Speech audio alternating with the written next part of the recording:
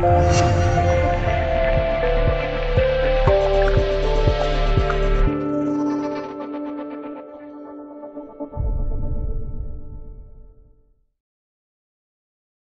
前，据西班牙足球先生报道，皇马主席弗洛伦蒂诺已经为拉齐奥中场米林科维奇萨维奇准备了九千万欧元的支票本，但他们会观望米林科维奇最终和 AC 米兰的接触结果之后，再向拉齐奥送出这份报价。八月十七日是意甲转会窗关闭的日子，在近三天来，AC 米兰多次和米林科维奇以及拉齐奥方面进行了接触。希望抢在皇马之前拿下这位中场大将。米兰也尝试说服米林科维奇加入到红黑军团，并且向他提供了一份四百五十万年薪、为期五年的合同。根据意大利米兰体育报的说法，米兰 CEO 莱昂纳多和拉齐奥主席洛蒂托在多次报价之后，得到了一个明确的回复：拉齐奥可以接受米兰先租后买米林科维奇，租借费用为四千万欧元。买断费用为八千万欧元，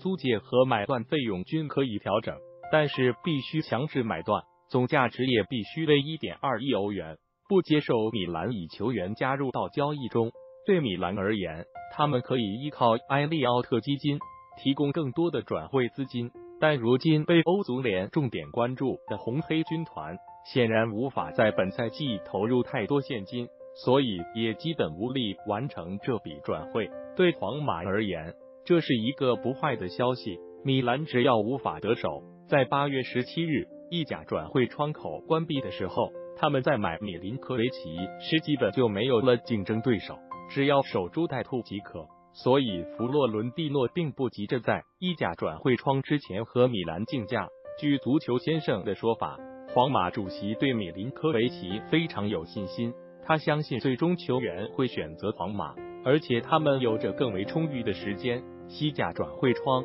关闭为八月三十一日来完成转会，因为已经说服了球员，所以弗洛伦蒂诺准备在九千万的价位完成交易。他并不准备满足洛蒂托狮子大开口开出的一点二亿欧元的价格，而且他也相信，在米兰在转会窗关闭退出竞争之后，这样的价格最终会让洛蒂托放人。